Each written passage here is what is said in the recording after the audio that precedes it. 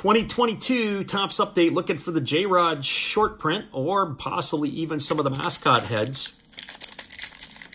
Here we go. We're going to get this one ripped apart pretty quick and get down to business. We got a lot to get through in a very short period of time. Luke Maile, Cleveland Guardians, JP Feyereisen, Tampa Bay Rays. Alek Thomas, that's his rookie card. Rookie debut. Taylor Hearn, pitcher for the Texas Rangers. Flip it over. We got Erick Fedde for the Washington Nationals. There's Danny Mendick, Chicago White Sox. Donovan Walton, Seattle Mariners. Heliot Ramos, rookie card, rookie debut. Oscar Mercado, Cleveland Guardians.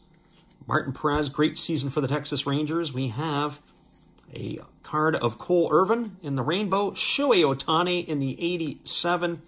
Byron Buxton, All-Star Game short print, and Hunter Greene. There you have it.